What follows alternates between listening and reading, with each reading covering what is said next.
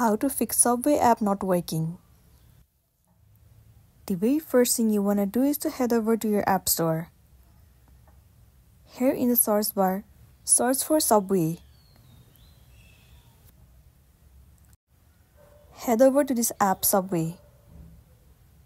Right here, instead of open, if it shows the option of update, then your application is not up to date and it might be one of the reasons that you are facing this issue. In this case, all you want to do is tap on update and update your application to the latest version. Once your application is up to date, the next thing you want to do is head over to the settings of a device. In here, move into general and then head over to iPhone Storage. In here, you have to search for the application Subway. Scroll all the way down and search for it. Once you find it, head over to it. The option of Offload app will be visible to you. Click on it and once again click on Offload app. Offloading app means clearing the cache and the storage of the application. It will clear all the unwanted bugs from the app and it might also fix the issue that you have been facing.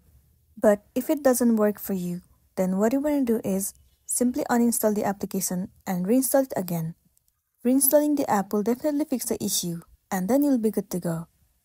So that's all for today and this is simply how you can fix Subway app not working. Make sure to smash the like button and consider subscribing if you found this video helpful. We'll see you in the next one.